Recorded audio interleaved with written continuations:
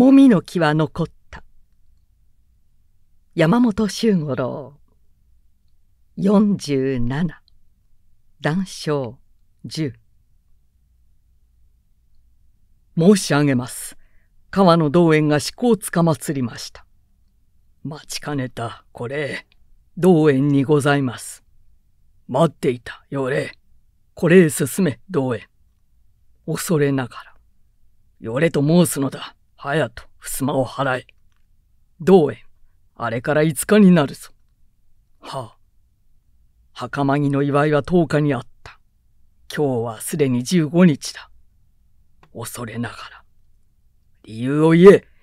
祝いの当日、あの件を行うように命じを置いた。そうではなかったか。受けたまわりました。袴木の祝いの当日、あの件をやれと命じておいた。にもかかわらず何事も起こらない。当日、何事も起こらなかったし、今日に至っても何事も起こらない。どういうわけだ、道園。これはどういうわけなのだ。恐れながら、私にも合点が参りません。申せ、理由を申してみろ。私は手配をいたしました。言い訳は許さんぞ。私は手配をいたしました。では、薬が無効だったと申すのか。そうではございません。事前に試みまして、その効果を確かめてございます。どのように確かめた？犬、猫、ネズミに与えましたところ、いずれも同じ症状を発して吐血し、ほとんど即死でございました。犬猫には聞いたが、人間には無効だというのか。さようなはずはございません。隼人、毒味の次第を述べる。申し上げます。第一に夜頭、第二に前番、第三に小正頭。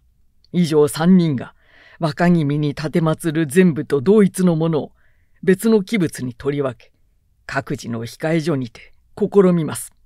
それが終わりますと、刀番が全部を下げました両手で、別に器物と箸を持ち、御前に進みますと、食器ごとにその蓋の上に中の料理の一部ずつが乗せてございますのを別に持参した箸で己の器物に取りその場で鬼をいたします。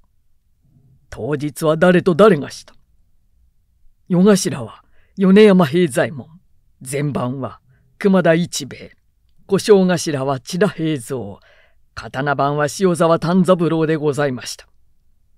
塩沢丹三郎とは元船岡殿の家中でございました。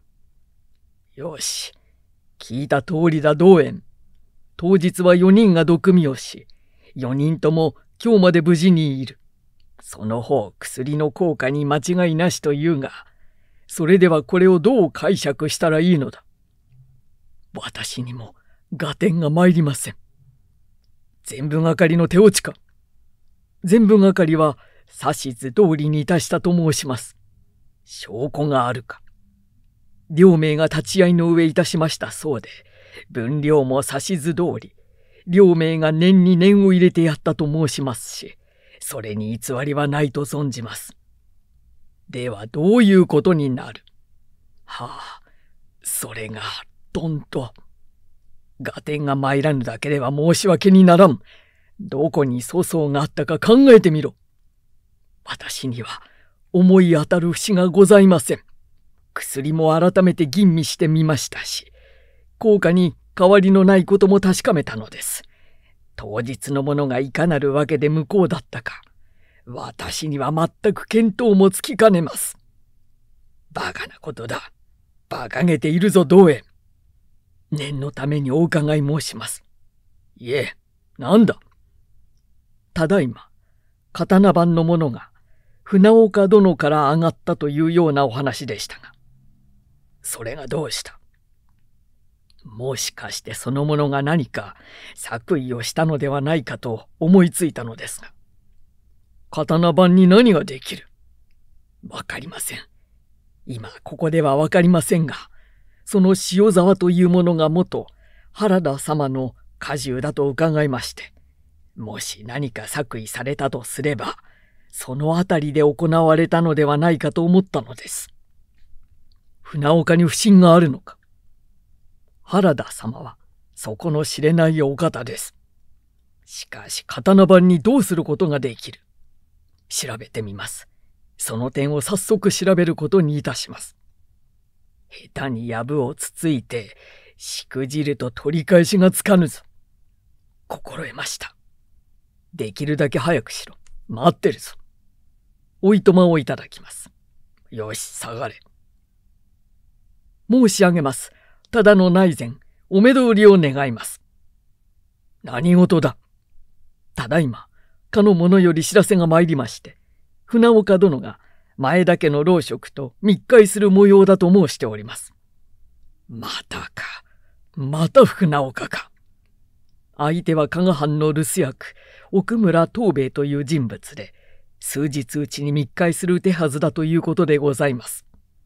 何のためだ？前田家の留守役と何のために船岡が密会するのだ？理由はわかりません。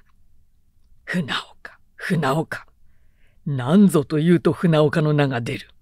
いざ当たってみると何事もない。これだけ十分に手配りをし、虚偽動作を絶えず監視していて、少しでも疑わしいことがあれば、すぐ司祭に戦議をする。随分司祭に戦議するが何事も出ては来ない。しかも、また船岡だ。しかし、この知らせは捨ておけまいと存じますが。つけさせろ。言うまでもないつけさせろ。だが、原田はどうして前田家の老職などと知り合ったのか。日本橋の刈谷信介が仲立ちということです。知っている。湯島の陰卓におるのがその妹であろう。刈谷は海産物の問屋と海鮮を兼ねている関係で、前からその留守役と実婚であったと申します。何か商法かもしれぬな。はあ、原田が勝手が苦しいと言って、いつかくるみ味噌などを作らせたことがある。うまくいけば大掛かりに作って、船岡の材用にするつもりだと言っていた。今度も国の物産を加賀と交易でもしようということではないか。それならば、密会などする必要はないと存じますが。密会ということはかの者が申したのであろう。これまでにも同様のことがしばしばあり、事実を突き止めるたびに空の袋をつかんだ。はあ。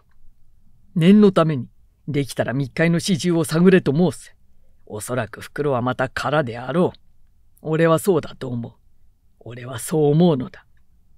原田という男は、あれだけの人間で、人の裏をかくとか、密かに何か企むなどということのできる太刀ではない。彼は女たちに好かれるそうだが、女に好かれる人間などというものはそこが知れている。馬屋橋公までがまだ疑っておられるが、まあ見ていろ。俺はもう原田はこっちのものと思っている。間もなくそれがはっきりするだろう。今一つ申し上げたいことがございます。また原田か。この二日、袴木の祝儀の8日前に、船岡殿が湯島の家で、塩沢丹三郎と一夜を過ごした模様だと申します。原田。塩沢丹三郎とか。その日は、かの成瀬久馬が湯島へ友をいたしました。久馬からは何の知らせもございません。彼が役に立たなくなったことは、すでにご承知のことと存じますが、今日、かの者の申すには、二日の夜、丹三郎が湯島で一泊したことは間違いないことでございます。それをどこで知った？鹿の願いからと申します。定外に出たのか、さように届け出たということです。同園名、睨んだな。は。はやと。道園に今の話を伝えてやれ。申しつかわします。しかし何のためだ？湯島の一夜に何があったのだ？呼んだのは原田か？丹三郎か？よし。考えてみよう。内前はかの者によく申しつけて、手抜かりなきようにと申せ。よし、原田か。原田か。